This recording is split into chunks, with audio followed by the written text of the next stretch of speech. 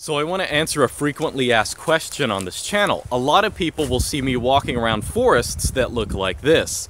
That is, a whole bunch of pines, and if you notice, the pines are all in a row.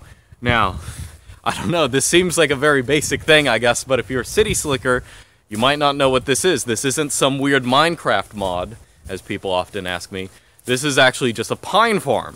Okay, if you actually look at it, I mean, all these trees were deliberately planted as you can see, the forest floor, the forest floor, if you want to call it a forest, is uh, littered with pine leaves, pine needles. Um, basically, what happens in most rural areas around here, I mean, this isn't just where I happen to live, this is like, honestly, a lot of places in America, probably in other countries as well. You just grow pine trees, right? So this is like a crop, basically. So the pine trees take around, I'll show you, I'll, I'll show you different life cycles, different stages of development. These are pretty close to being uh, you know, I think they're actually about to be cut pretty soon. Uh, they're around 20 years old. If you look behind me, though, if you look behind here, um, these are more recently planted pines. Now, first off, there's a bunch of brush here. Obviously, you know, it has to be maintained if they're growing pine trees because a bunch of other stuff will grow in here. So they'll take tractors through the lanes or whatever and clear them out. But these, I want to say, I mean, these used to be big pines that were cut down maybe five years or so ago, and now there are new little pines in there. There's so much brush here that you can't really get in there, but again, they take tractors through it every once in a while. Um, and then over here, as I said, these I think are just about to be cut.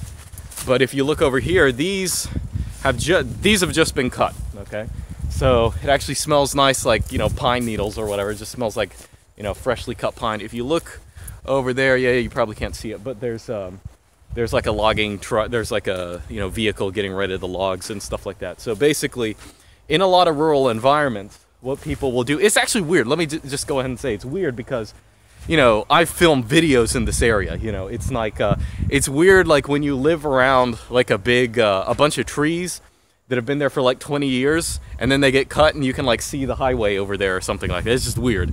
Um, and uh, that happens like just different every, every couple of years like a, a square of them will be cut. Um, but yeah this is how a lot of people make money. Now um, if you happen to have if you happen to have several hundred acres or maybe a hundred acres in the country um, it, this is actually a good way to make at least a little bit of passive income in that um, uh, let's say you have 100 200 acres uh, you can basically just sign up with a company and uh, you don't have to do anything. You don't have to do it yourself. They actually do all the work. They plant the trees, or sometimes different companies will plant the trees, but they, they maintain the, the land. You don't even have to deal with it, and they basically pay you. Um, and the price can vary. Like I think I, I, you know, it can vary a lot. But from what I've heard, like a, a 20 year cycle, let's say you have between 100, 200 acres, uh, you might end up getting $100,000 for the whole thing uh, which you know might not be that much. Honestly, well, this is land in the middle of nowhere, but you know you're putting to use some of this land. If, if you're putting it to use for like you know five thousand dollars a year, that's like not too bad. I mean, that's okay passive income. Of course, there are downsides. Like I consider there to be a downside in the sense that honestly, I find these like a lot of people will say in my videos, "Oh wow, that's such a transfixing forest" and stuff like that. But it, it honestly is weird when like a lot of the there really are very few natural forests around here because a lot of it is just like these pine farms um, pretty close to where I live. And this is honestly, this isn't just where I live again. This is like something very common in rural America.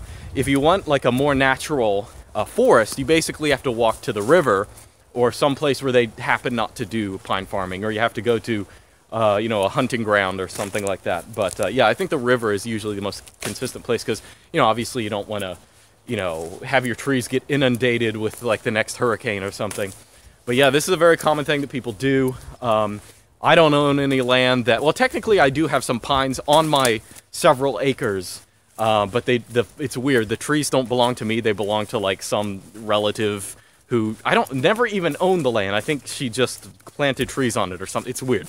It's weird how it works out, but um, yeah, so uh, which I think those are going to get cut in a little bit, and I'm not I'm not going to like that. I, I think I sort of like them how they are, but whatever.